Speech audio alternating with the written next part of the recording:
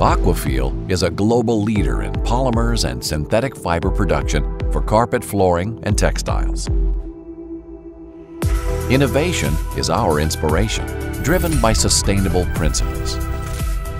As a part of our journey, we have invented a revolutionary process to produce Nylon 6 from waste material.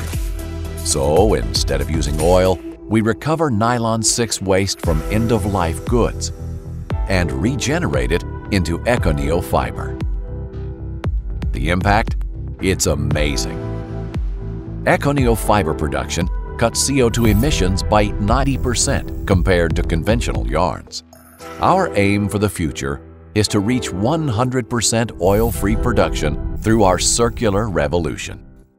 Because we firmly believe that sustainability is not a goal to achieve, but a principle to follow.